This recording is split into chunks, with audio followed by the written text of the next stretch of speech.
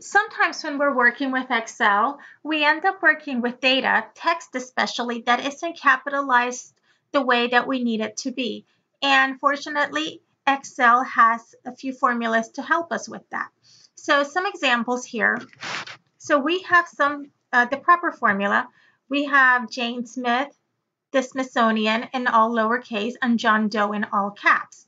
Now to make that into proper capitalization, we would simply type equals proper, open parentheses. We click on the cell that we need and choose enter. And you see how now it's been properly capitalized with the first letter capitalized and the other letters lowercase.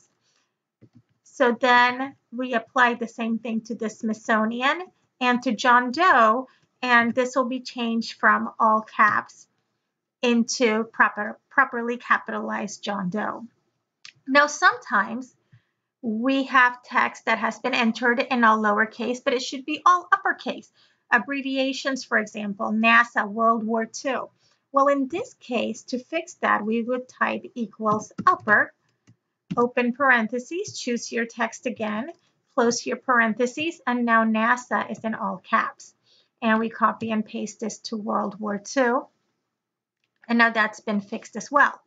Now there's times when the entry may have been typed in all caps, but we don't need that either. We need for it to read more um, more normal, lowercase, like we're not yelling at, at our audience. So here we would use the lower formula, so equals lower, open parentheses, choose your text, click, and shopping is great. It's now in all lowercase.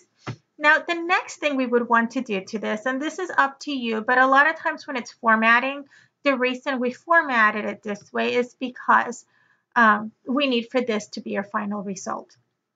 So what I like to do, um, so that this is not a live formula, as long as this is a live formula, you can delete this and then now your result disappears.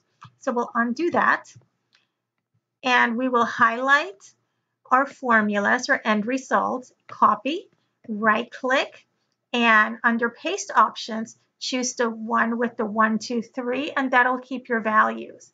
Now what that does is it preserves the formatting that we can see um, visibly, but it deletes the formulas from the cell. So you see how now it's John Doe, it's no longer the proper formula.